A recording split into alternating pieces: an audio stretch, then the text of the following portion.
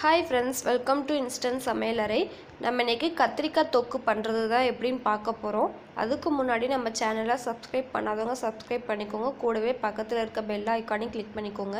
அப்போ தான் நான் போடுற ஒவ்வொரு வீடியோ உங்களுக்கு நோட்டிஃபிகேஷனில் வரும். இந்த கத்திரிக்காய் தொக்கு பார்த்திங்கன்னா சாதத்தோடையும் சாப்பிடலாம். இல்லை ரசம் சாதம் தயிர் சாதத்துக்கு சைட் டிஷ்ஷாக வச்சு சாப்பிட்டாலும் ரொம்பவுமே சூப்பராக இருக்கும். இதுக்காக கத்திரிக்காவை இது மாதிரி கட் பண்ணி எடுத்து வச்சுருக்கேன். இது கூட மூணு வரமிளகாய் கொஞ்சமாக கருவேப்பிலை ஒரு அரை டேபிள் ஸ்பூன் இஞ்சி பூண்டு பேஸ்ட்டு ஒரு பெரிய வெங்காயம் கொத்தமல்லி. வீட்டில் அரைச்ச குழம்புத்தூள் ஒரு டேபிள் ஸ்பூன் கொஞ்சமாக மட்டன் மசாலா எடுத்து வச்சுருக்கேன். ஒரு அரை டேபிள் ஸ்பூன் எடுத்து வச்சுக்கோங்க. இப்போ எப்படி செய்கிறதுன்னு சொல்லி பார்த்துடலாம் ஒரு கடாயில் கொஞ்சமாக எண்ணெய் விட்டுருக்கேன். எண்ணெய் நல்லா சூடானதும் கடுகு உளுந்தம்பருப்பு ஆட் பண்ணி நல்லா பொரிய விட்டுக்கலாம். இப்போ நல்லா பொரிஞ்சு வந்துருச்சு. இந்த ஸ்டேஜில் ஒரு கால் டீஸ்பூன் அளவுக்கு சோம்பு ஆட் பண்ணிக்கிட்டேன். இப்போ சோம்பு நல்லா பொறிஞ்சிருச்சு.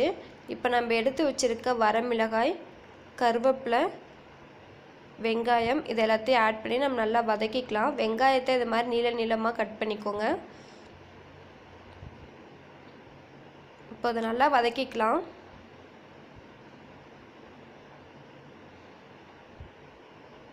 இது நல்லா வதங்குறதுக்காக கொஞ்சமாக சால்ட் ஆட் பண்ணிக்கிறேன். மூடி போட்டில் நம்ம வதக்க வேண்டாம் இப்படியே வதக்கிக்கலாம். இது தயிர் சாதமும் ரச சாதத்துக்குலாம் ரொம்பவுமே சூப்பராக இருக்கும். சாம்பார் சாதத்துக்கு கூட நல்லாயிருக்கும். இப்போ ஒரு அரை டேபிள் ஸ்பூன் அளவுக்கு இஞ்சி பூண்டு பேஸ்ட் ஆட் பண்ணிக்கிட்டேன்.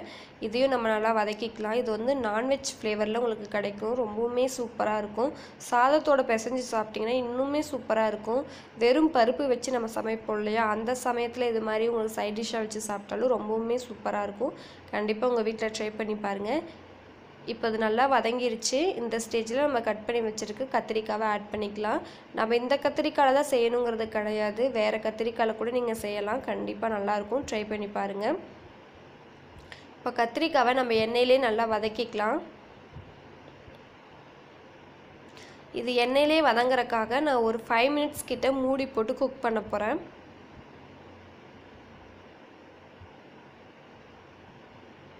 இப்போ மூடி போட்டு ஒரு ஃபைவ் மினிட்ஸ் கிட்ட நம்ம குக் பண்ணிக்கலாம்.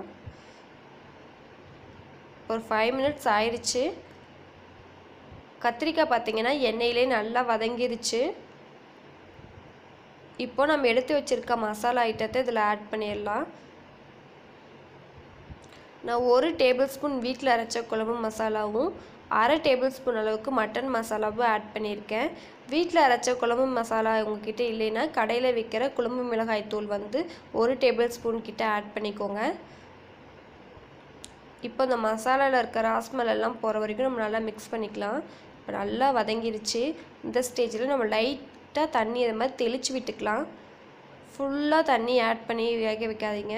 இது மாதிரி லைட்டாக தண்ணி தெளித்து விட்டுட்டு இப்போ நம்ம எதை மூடி போட்டு குக் பண்ணுவோம் ஒரு ஃபைவ் மினிட்ஸ் கிட்ட. ஆல்ரெடி வெ எண்ணெயிலேயே கத்திரிக்காய் நல்லா வதங்கிருச்சு. இப்போ மசாலா நல்லா செட் ஆகிறதுக்காக நம்ம குக் பண்ணலாம். இப்போ ஓப்பன் பண்ணி பார்த்துடலாம் இப்போ பாருங்கள் கத்திரிக்காய் எவ்வளோ சூப்பராக வெந்து வந்திருக்குன்னு சொல்லி பார்க்க மட்டும் சூப்பராக இல்லை. டேஸ்ட்டும் ரொம்பவுமே சூப்பராக இருந்துச்சு. கண்டிப்பாக உங்கள் வீட்டில் ட்ரை பண்ணி பாருங்கள் சிக்கன் மசாலா ஆட் பண்ணாமல் மட்டன் மசாலா ஆட் பண்ணும்போது உங்களுக்கு இன்னுமே நல்ல டேஸ்ட்டாக இருக்கும். இப்போது நான் ஃபைனலாக வந்து கொத்தமல்லி ஆட் பண்ணி கேஸ் ஆஃப் பண்ணிட்டேன். ஸோ இந்த வீடியோ உங்கள் எல்லாருக்கும் பிடிக்கும் நம்புகிறேன் இந்த ரெசிபி பிடிச்சிருந்துச்சுன்னா கண்டிப்பாக உங்கள் வீட்டில் ட்ரை பண்ணி பார்த்துட்டு எப்படி இருந்துச்சுன்னு சொல்லி கமெண்ட் பாக்ஸில் கண்டிப்பாக கமெண்ட் பண்ணுங்கள் இதே மாதிரி அடுத்தடுத்த இன்ட்ரெஸ்டிங்கான வீடியோஸ்லாம் பார்க்கணுன்னு நினச்சிங்கன்னா மறக்காமல் இன்ஸ்டன்ட் சமையலறை சேனலை சப்ஸ்கிரைபும் பண்ணிக்கோங்க.